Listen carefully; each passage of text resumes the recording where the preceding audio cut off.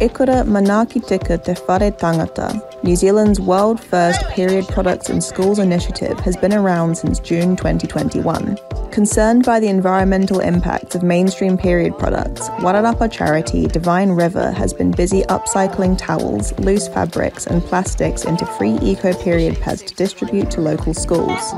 Carterton School, Southend, Dalefield, Hadlow, St Patrick's, and Douglas Park are just some of the schools Divine River has worked with, hosting educational sessions for girls in years 5 to 8 to construct their own reusable sanitary towels.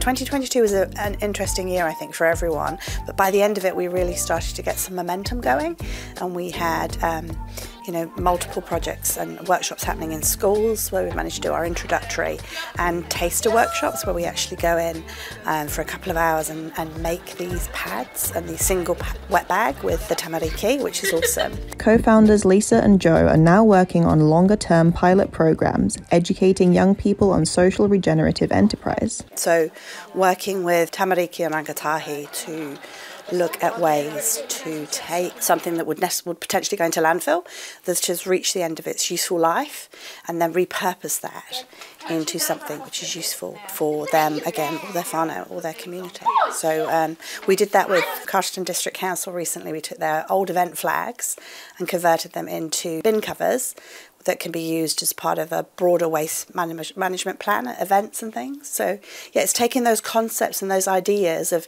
how we can take something that would just end up in landfill and giving it a new lease of life and along the same time at the same time do some social good so make a product that we could sell so it might make a little bit of money for whoever's making it so the enterprise element but actually create social good thank Students from Hadlow School say the workshops with the Divine River made them more environmentally conscious and more open to discussing shared female experiences. It's always nice to have that support and like it could feel embarrassing but everyone goes through it. Divine River has definitely empowered me to make different choices and choices that will help with the sustainability of the environment. Carterton Deputy Mayor Dale Williams has been an active member of the Divine River Trust Board for three years. The conversations moved rapidly on from is there climate change and whose fault it is to let's accept that the extremes are there and we've got to be doing as much as we possibly can to uh, improve the sustainable future for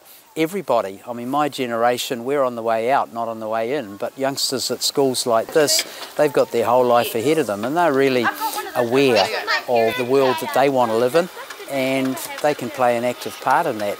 It's not just school kids that learn to upcycle personal products. Divine River has a team of volunteers who meet regularly to sew pads and brainstorm ideas. I think it's been a perennial problem for women worldwide for since time immemorial that there hasn't been an easy way to get through periods. Um, and I think the last few years there have been some good solutions, but they haven't been very environmentally friendly.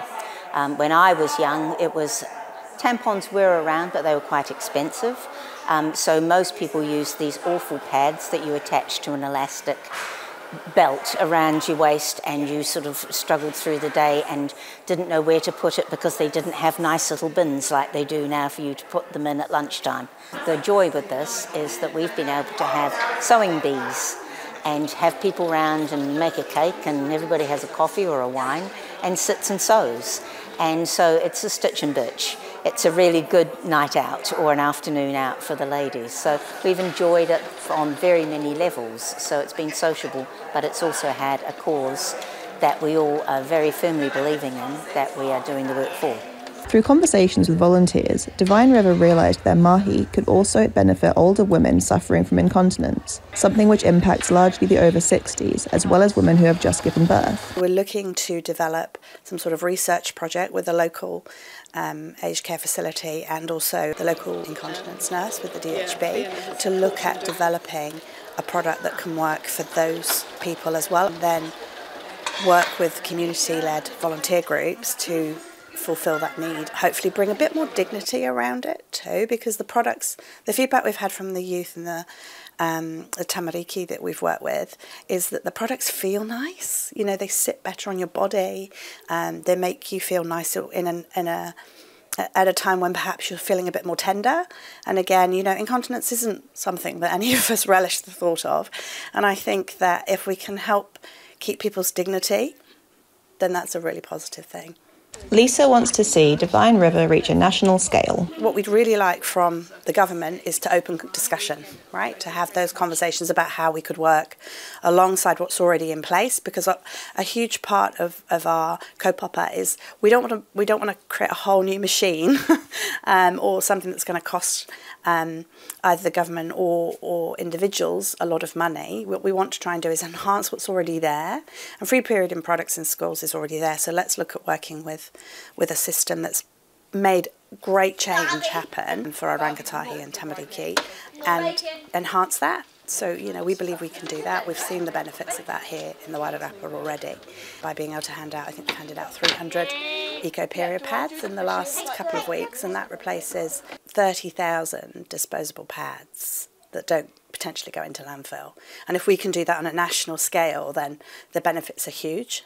I really hope that more organisations, government departments, councils, everybody who's in governance or leadership in communities support initiatives like this. We've had our MP Kieran McAnulty take part, he learnt to sew and made sustainable products to take home as well. So I think it's, it shows good leadership when we aren't just um, supporting from a distance, but we're actually getting in behind the people doing this mahi and, um, and making sure they know how important it is that what they're doing. Thank you, Divine River. Ellie Franco, Local Focus.